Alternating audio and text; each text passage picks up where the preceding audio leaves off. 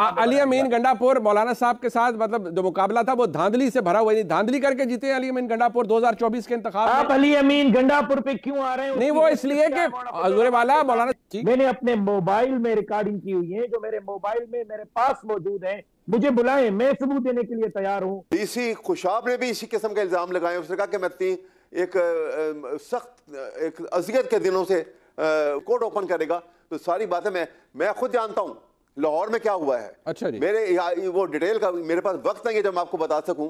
बिस्मिल्लाहिर्रहमानिर्रहीम अस्सलाम वालेकुम नाजरीन कमिश्नर रावलपिंडी लियाकत अली चट्ठा ने धांधली के हवाले से जो स्टेटमेंट दी और साथ इलेक्शन कमीशन और चीफ जस्टिस को भी इस सारे घिनौने काम में शामिल होने का इंकशाफ किया। लियाकत अली चट्ठा ने कोई वाजिया सबूत पेश नहीं किए।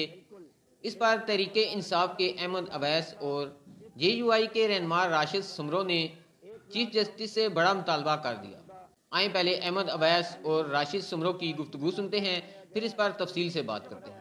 चाहिए ये था बजाय इसके कि चीफ जस्टिस साहब उसके बराबर मुकाबल खड़े होके और इनका जवाब देना शुरू कर दें जैसे उन्होंने आज किया है। हम्म, हम्म। ये बड़ी तकलीफ़ दे सूरत है मुझे तो बड़ी तक, दुख हुआ ये उनका ये एटीट्यूड देख के चीफ साहब का। उनको चाहिए ये था कि उनके ऊपर अगर उसने ये झूठे गलत इल्ज़ाम लगाए हैं तो सुप्रीम कोर्ट जो है वो suo motu proceeding one eighty four three में ले सकते हैं और एक बेंच बनाते चाहे बड़ा बेंच बनाते और अपने आप को उसमें ना बिठाते। ठीक। और उस बेंच में इनक्विजिटोरियल इनक्विजिटोरियल प्रोसीडिंग को ओपन करते। अच्छा जी। डिग आउट करते इसकी डिटेल और वहाँ पे वो इल्ज़ाम जो उसके वो जो सबूत वो लेके आता और उसको टैली करने के लिए और जो जो रिक्वायरमेंट होती वो सारी की सारी सामने खोली जाती है ताकि ये ये छोटी सी बात नहीं है देखिए।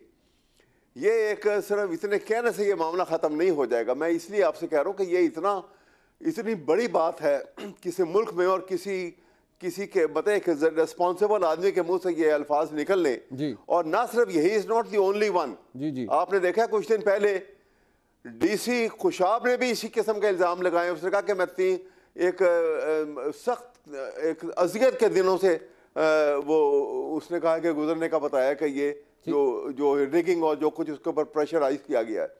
और उसके बाद कमिश्नर की ये बात आ गई। नहीं बट तो ज़रूरी बट सुप्रीम कोर्ट तो ये कह रही है ना सर कि 19 फरवरी को ऑलरेडी एक केस लगा हुआ है और उसमें ऑलरेडी इस्तदा ये है कि इंतबात को कलदम करार दिया जाए क्योंकि ये धांधली शुदा है।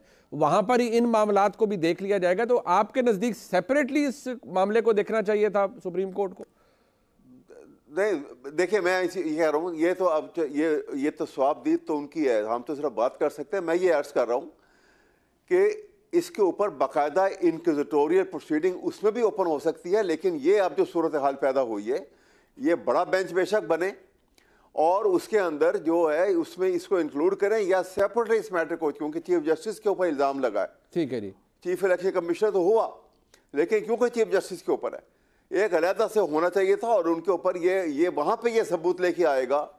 कमी जो कमिश्नर रावलपिंडी जो है ये वहाँ पे जो सबूत इसके पास है ये लेकर आएगा। या जो डिटेल वो बताएँगे। ठीक है। ये ऐसा क्राइम है जिसके सबूत आसानी से अंडस के इसकी इनकोजिटोरियल प्रोसीडिंग बाकायदा सुप्रीम कोर्ट ओपन करेगा। तो सारी बातें मैं मैं खुद जानता हूँ लाहौर में क्या हुआ है। अच्छा जी। मेरे वो डिटेल का मेरे पास वक्त नहीं है जब मैं आपको बता सकूँ। कि किस तरीके से प्रेशराइज किया जाता था किया गया आर को और कितना सख्त दबाव के तहत उनसे क्या क्या काम करवाए गए हैं। ठीक अच्छा। सोच नहीं सकते हैं रोड में खड़े हो जाते हैं। मतलब आप कहते हैं तारीख साज धांधली हुई बट सुमरो साहब आप फरमाइएगा अब ये आज एक अपनी तरफ़ से एक इंकशाफ हुआ। अदालत को बुलाना चाहिए बाकायदा तौर पर इन्वेस्टिगेशन होनी चाहिए। एक एक डिवीज़न के कमिश्नर ने कहा रावलपिंडी डिवीज़न है मुतद अजला है उनके नीचे। वो कह रहे हैं जी कोई हमने इतने सीटों को हमने तब्दील किया। लेकिन इलेक्शन कमीशन का जवाब यह है कि जी, कमिश्नर का तो इंतबी मामला से ताल्लुक ही नहीं है। D R O deputy commissioner होता है आर ओज उनके नीचे होते हैं। कमिश्नर का काम नहीं है इंतबात से कोई रिलेटेड।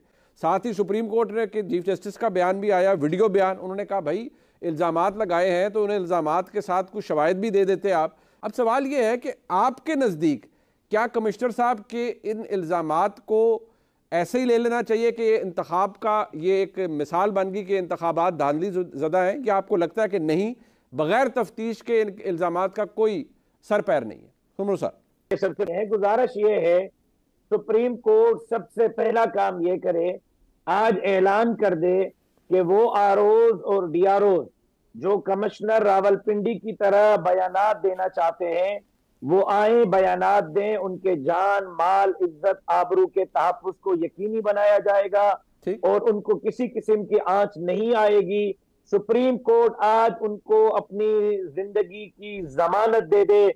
मैं दावे से कहता हूँ कि इस तरह के आपको कोई सौ से ज़्यादा आरोज दियारोज इस बयान में हल्की के साथ सुप्रीम कोर्ट की तरफ़ दौड़ते हुए नज़र आएँगे जिनके अच्छा। जमीर उनको मलामत कर रहे हैं। जहाँ तक बात है सबूतों की हम जो पिछले एक हफ़्ते से एहतजाज कर रहे हैं हाईवेज बंद हैं सिंध पंजाब बॉर्डर बंद है कल लाखों का इज्तमा हैदराबाद में था। क्या चीफ इलेक्शन कमिश्नर साहब इतनी हिम्मत फरमाएँगे कि मुझे बुला लें? हमारी तो रिकाउंटिंग की एप्लीकेशन उन्होंने मुस्तरद कर दी। फिर जब उनको हमने इलेक्शन कमीशन में चले गए इस्लामाबाद में वहाँ दरखास्त दी है। वहाँ हमारी दरखास्त उन्होंने रद्दी टोकरी में फेंक दी और उसको मुस्तरद कर दिया। तो आप कमिश्नर कराची को कहते हैं कि सबूत दे दें हम जब आपके पास खुद आ रहे हैं और आप हमें सुनने के लिए तैयार नहीं है मुझे बुलाएँ मैं लाड़काना के आपको सबूत दूँगा कि धांधली हुई है या नहीं हुई। मैंने अपने मोबाइल में रिकॉर्डिंग की हुई है जो मेरे मोबाइल में मेरे पास मौजूद है मुझे बुलाएँ मैं सबूत देने के लिए तैयार हूँ। कमिश्नर रावलपिंडी की तरह मुतअद्दद लोग हैं जो मैदान में आने के लिए तैयार हैं लेकिन वो जान से डर रहे हैं। अच्छा। अपने बच्चों के जान से डर रहे हैं उनके तहफुज को आप यकीनी बनाएँ इस तरह के बहुत सारे बयान आएँगे। बाकी जहाँ तक आपने बात की कि मौलाना फजल रहमान साहब की सीट मौलाना साहब जीत चुके हैं मौलाना साहब इस वक्त पार्लियामेंट का हिस्सा है। बात मौलाना फजल रहमान साहब की नहीं पूरे मुल्क की है। मौलाना साहब ने एक प्रेस कॉन्फ्रेंस की। उस प्रेस कॉन्फ्रेंस के बाद मौलाना साहब तो आराम से घर में बैठे हुए हैं। दो दिन से मीडिया पे बहस यही है हालाँकि वज़ीर आज़म बन रहे हैं हम्म, आला बन रहे हैं।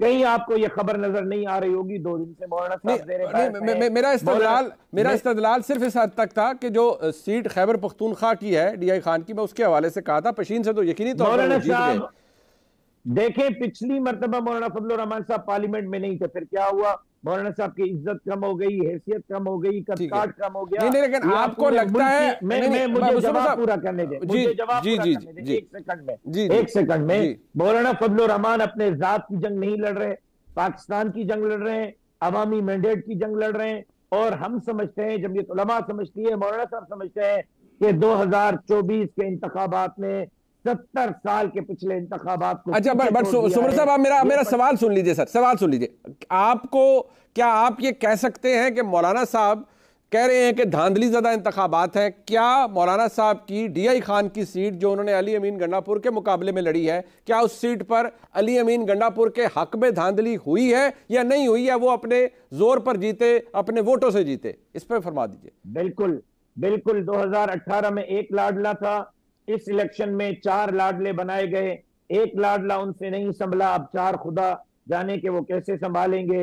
एक कराची में लाडला बनाया गया एक अंदरून सिंध अच्छा में मतलब बनाया गया एक आपको एतराज़ है कि मतलब अली अमीन गंडापुर मौलाना साहब के साथ मतलब जो मुकाबला था वो धांधली से भरा हुआ है। धांधली करके जीते हैं अली अमीन गंडापुर 2024 के इंतखाब आप अली अमीन गंडापुर पे क्यों आ रहे हैं? नहीं वो इसलिए कि हजूर वाला मौलाना साहब उनके अगेंस्ट कम्पीट कर रहे थे ना। क्या है मौलाना साहब के सामने? हजूर इलेक्शन से लेकर मौलाना वो हैसियत को छोड़ दे इंतखाबात तो लोग लड़ते ही है ना राशिद भाई इंतखाब तो लड़ा ना तो मौलाना साहब ने। की बात करें ना आप एक हल्के की क्यों नहीं मैं हल्के की इसलिए कह रहा हूँ कि आप कह रहे हैं धांधली हुई। मैं सिर्फ़ ये पूछ रहा हूँ कि जिन हलकों में धांधली हुई उनमें से बहुत से हलके ऐसे हैं जहाँ तहरीक इंसाफ के उम्मीदवार जीते हैं। तो मुझे ये फरमा दीजिए क्या उनके हक में भी धांधली हुई या नहीं हुई? हमें शिकायत न तहरीक इंसाफ से है इस मामले में। न पाकिस्तान पीपल्स पार्टी से है न है। एमक्यूएम से है न मुस्लिम लीग नून से है। ठीक है हमें इस हवाले से शिकायत इलेक्शन कमीशन से है। सुप्रीम कोर्ट से है और एस्टेब्लिशमेंट से अच्छा आपने तीनों में मेहमानों की गुफ्तगु सुनी। तहरीक इंसाफ के अहमद अवैस ने बिल्कुल ठीक कहा कि कमिश्नर रावलपिंडी ने साफ़ अल्फाज में कहा है कि इंतबात दोबारा कराने की ज़रूरत नहीं। बस आप फॉर्म 45 हासिल करके उसके मुताबिक फ़ैसला करें। दूध का दूध और पानी का पानी हो जाएगा। मगर आपने देखा कि चीफ जस्टिस साहब कह रहे हैं कि कमिश्नर रावलपिंडी इल्ज़ाम लगा रहा है। सबूत पेश नहीं कर रहा, उसे चाहिए कि वो सबूत पेश करे। नाजरीन, हालाँकि इंसाफ करना हो तो बहुत आसान तरीकाकार है कि आप फार्म 45 के मुताबिक फैसला जारी करें। फार्म 45 बजाते खुद एक सबूत है, जो कि नून लीग की धांधली को बेनकाब कर रहा है।